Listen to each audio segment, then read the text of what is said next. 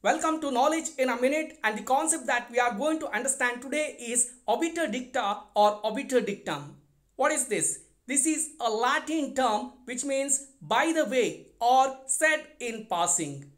While giving a judgment, a judge may be orally or in written form if makes certain comments which are not really connected to the case or from laws or from facts or evidences if it is based on some quotes by the famous personality or current affairs or maybe the helplessness of the court etc.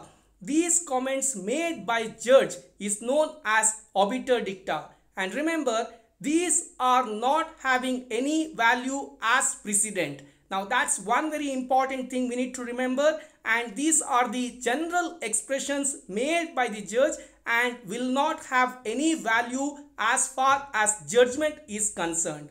Now precedent as a source of law under English jurisprudence this concept obiter dicta is also one of the important concept and if you want to know more about English jurisprudence please go to the video description where I have put the link of playlist of English jurisprudence. Along with that, I have also put the video link of playlist this particular aspect that is knowledge in a minute. That's for the day. Thank you so much.